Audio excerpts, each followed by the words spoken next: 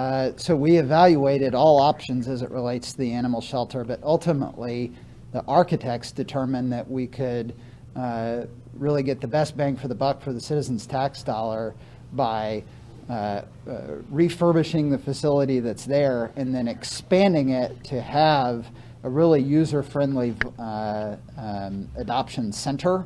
As someone who's adopted pets from the shelter, I can tell you it's not historically the most uh, user-friendly experience. And so moving forward, we'll have a first-class facility that's available for that.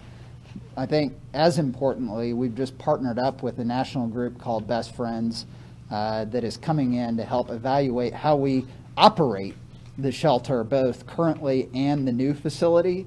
And they will help us. I mean, the goal for us is to get to be a no-kill shelter, and you don't do that without having a more robust adoption program, and that's one of the things they're going to be looking at.